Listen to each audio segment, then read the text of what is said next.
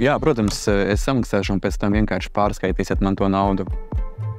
Labi, tad atsūti lūdzu konta numuru, es tev pārskaitīšu naudu. Pāris klikšķi un nauda kontā. Parāds atgriezts, līdzekļi savākti. Taču vai beigās man pašam nenāksies maksāt par to, ka visi pārskaita naudu tieši man? Tiekam skaidrībā. 1425 eiro. Šī ir summa, kuru gada laikā divi cilvēki, arī pavisam sveši, var sūtīt viens otram. Piemēram, samatoties kopīgam ceļojumam ar paziņām vai arī bērnu dāvanām. Cits piemērs. Draugs aizdod tev 1000 eiro, lai pietiktu jaunajam auto. Šo summu nevajadzēs deklarēt, kā arī nav jāmaksā nodoklis. Izņēmums, ja aizdevuma summa ir lielāka par 15 000 eiro. Kad vēl būs jādeklarē pārskaitītā nauda?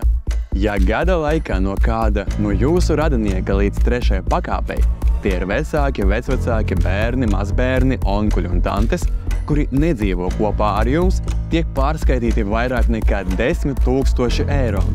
Tad saņemtos līdzekļus jums būs jādeklarē. Tas nozīmē, ka būs jāatskaitās valsts ieņēmumu dienesta ikgadējā deklarācijā, bet šī summa nav apliekama ar nodokli. Vēl viena situācija.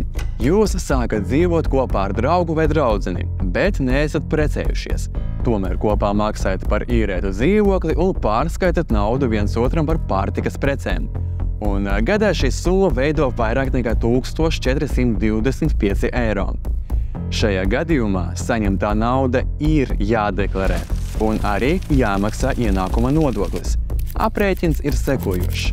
Pārskaitītā nauda gada laikā - mīnus 1425 eiro.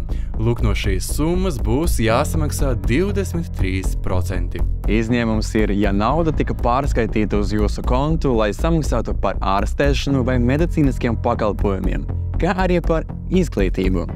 Bet tas vēl būs jāpierāda ar čekiem.